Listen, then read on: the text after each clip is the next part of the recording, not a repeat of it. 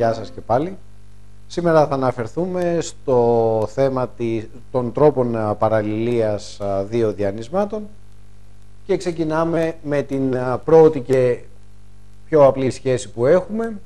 Το α είναι παράλληλο στο β, αν και μόνο αν υπάρχει λάμδα πραγματικό, ώστε το α να ισούται με λάμδα φορές το β. Είναι μια σχέση η οποία μπορεί να μας δώσει παραλληλία και μας δίνει επιπλέον και φορά. Δηλαδή, εάν το λάμδα είναι θετικό, τότε τα διανύσματα είναι ομόρροπα, αν το λάμδα είναι αρνητικό, είναι αντίρροπα. Άρα, δίνει παραλληλία και φορά. Ο δεύτερος τρόπος για να δείξουμε παραλληλία, χρειάζομαι, χρειάζομαι βέβαια τότε να έχω συντεταγμένες, είναι η σχέση με την ορίζουσα. Δηλαδή, το α είναι παράλληλο στο β, αν και μόνο αν η ορίζουσα των διανυσμάτων είναι ίση με το 0. Αυτό δίνει μόνο την παραλληλία. Πολύ εύκολος, γρήγορος τρόπος, δυστυχώς όμως δεν μπορεί να μας πληροφορήσει γιατί φορά κάτι. Ο τρίτος τρόπος είναι με τους συντελεστές διεύθυνσης. Το α είναι παράλληλο με το β, αν και μόνο αν ο συντελεστής διεύθυνσης του α ισούται με το συντελεστή διεύθυνσης του β. Προσοχή όμως αυτό είναι αρκετά επικίνδυνο διότι δεν ορίζονται πάντοτε οι συντελεστές διεύθυνσης. Προσοχή λοιπόν πρέπει να ορίζονται οι συντελεστές διεύθυνσης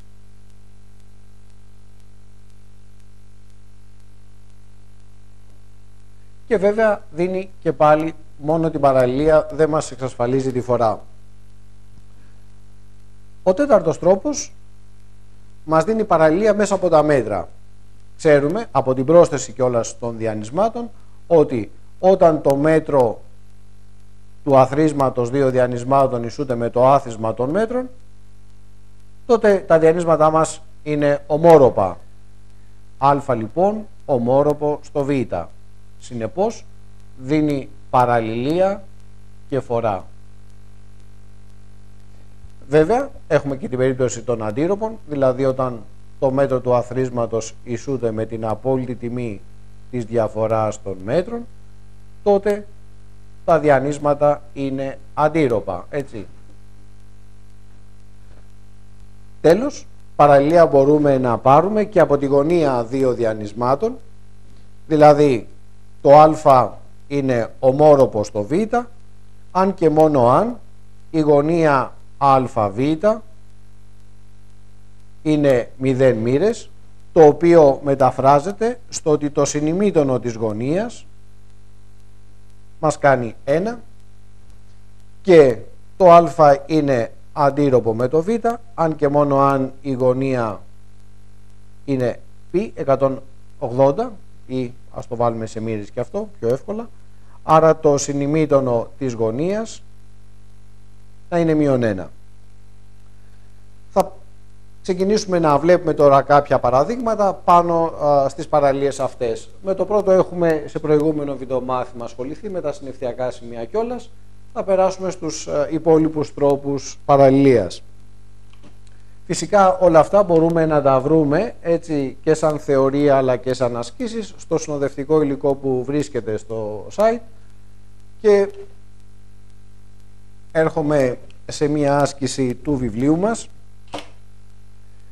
Θα αναφερθώ λοιπόν στην άσκηση 5 στην σελίδα 99. 5 λοιπόν, σελίδα 99. Ζητάει λοιπόν να βρούμε έναν πραγματικό αριθμό χ. Το χ λοιπόν είναι ένας πραγματικός αριθμός, ώστε τα διανύσματα χ,1 και 4,χ να είναι παράλληλα.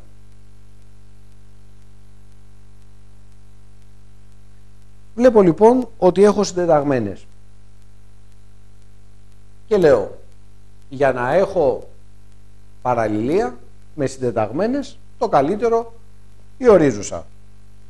Το α λοιπόν παράλληλο στο β, αν και μόνο αν η ορίζουσα των δύο διανυσμάτων ισούται με το 0. Αυτό λοιπόν μεταφράζεται σε αυτήν εδώ την ορίζουσα, δηλαδή χ τετράγωνο μείον 4 ίσο με το 0, χ τετράγωνο ίσον με 4. Εδώ σας δείχνω λίγο αυτή την εξίσωση που συνήθως της ακατεύεται όταν τη λύνετε. Απόλυτο χ ίσον με 2, χ ίσον με σύμπλην 2. Και λέω ότι της ακατεύεται γιατί συνήθως απαντάτε χ ίσον με 2 πάντοτε. Αυτές είναι ισοδύναμες όλες οι σχέσεις. Και φυσικά όταν το χ πάρει αυτές τις δύο τιμές, τότε τα διανύσματα είναι παράλληλα. Προσοχή όμως, αν μας πει βρείτε το χ ώστε το α να είναι ομόροπο με το β, τότε η απάντηση αυτή δεν μου κάνει. Θα πρέπει να προχωρήσω είτε βάζοντας την τιμή του χ στα δύο διανύσματα και ελέγχοντας τη σχέση παραλλήλιας, είτε ξεκινώντας με τη σχέση παραλλήλιας από την αρχή. Τότε λοιπόν, για χ ίσον με 2, έχουμε το διάνυσμα α να έχει συντεταγμένες 2,1 και το διάνυσμα β να έχει 4,2 Δηλαδή παρατηρούμε ότι το β ισούται με δύο φορές το α, άρα το α και το β είναι ομόροπα. Εδώ λοιπόν για τη φορά πάλι καταφύγαμε στην σχέση παραλληλίας. Ενώ για χ ίσο με μείον 2 θα δείτε ότι το διάνυσμα α έχει συντεταγμένες μείον 2, 1, το διάνυσμα β 4 μείον 2 Οπότε εδώ έχεις ότι το β είναι μείον δύο φορές το α.